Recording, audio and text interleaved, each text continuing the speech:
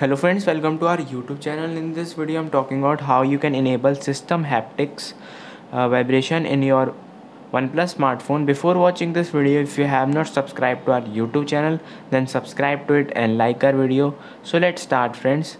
First you have to simply open your settings go to display and brightness swipe down or you can go to sound and vibration swipe down here it is the haptics click on it and enable this get haptics reader for touches swipes and more.